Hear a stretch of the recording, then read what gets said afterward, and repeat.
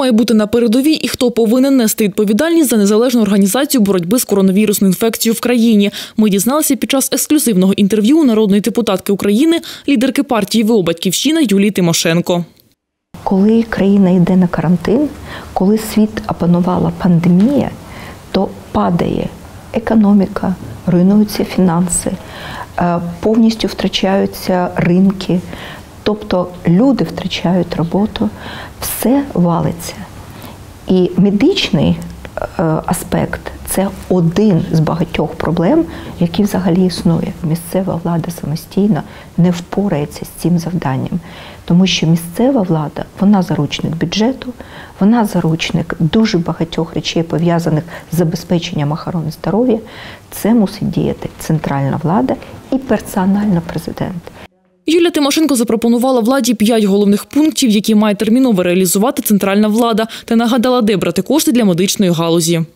Перше це телефонна лінія, друге мобільні бригади, які виїжджають, і там є або фельдшер, або медична сестричка, або будь-який інший представник медичного персоналу. Третє, що потрібно, це безкоштовний тест. Четверте безкоштовні ліки.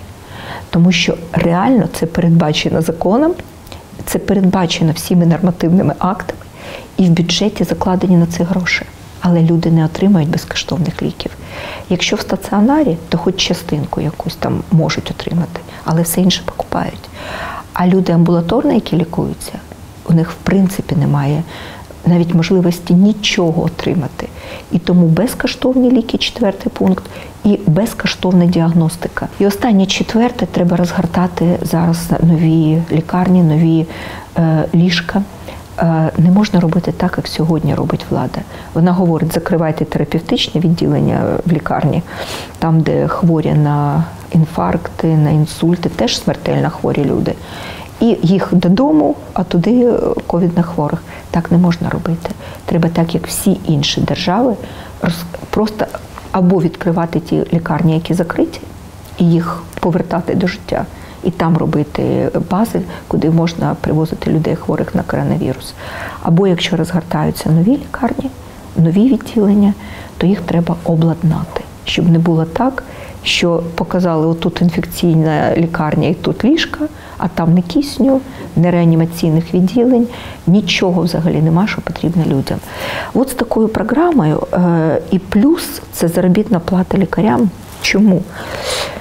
Тому що людина, яка сьогодні працює от в тяжких умовах, це медичний персонал, нянечки, е, медичні сестрички, лікарі, і навіть водії швидких допомог, і навіть не медичні професії в лікарнях, вони всі перша група ризику.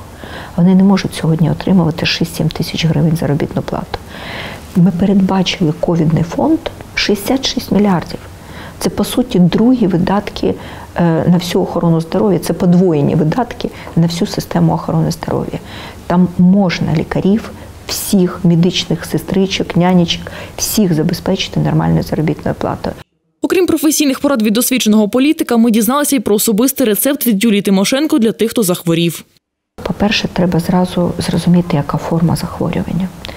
Е, якщо легка форма захворювання, то треба просто спокій вдома. Е, треба ну, вітаміни, е, можна мікроелементи, там деякі можна порадитися з тими, хто лікує, я не лікар. Але якщо важка форма, і ти не можеш нікуди достучатися, треба просто або викликати якусь машину, або просити сусідів, щоб довезли, негайно їхати, йти що завгодно, але в лікарню. Все-таки там є медичний персонал. На думку Юлії Володимирівни, пандемія показала, що влада країни знову йде хибним шляхом медичної реформи, і змінювати це треба терміново. У команди батьківщини вже є законопроєкти, здатний змінити недосконалу систему. Нам потрібна інша абсолютно медична реформа. Нам потрібно так, як роблять всі інші країни. Обов'язкове медичне страхування. Крапка. Обов'язкове медичне страхування це в чотири рази більше грошей в систему охорони здоров'я. Це повністю закрита вся вартість обслуговування людей. І людина, яка має страховку, а люди, які не працюють на пенсії, хворі і так далі, діти, вони мають державну страховку, а всі працюючі люди, вони частково платять роботодавець, частково платить е, людина. І плюс два бюджети місцевий і центральний теж до страховки щось доплачують. У кінці лідерка ВО «Батьківщина» закликала всіх українців долучитися до виборчого процесу і не ігнорувати його, адже вона вважає, що ці вибори будуть вирішальними для України. Ці вибори дуже особливі. Дві причини є.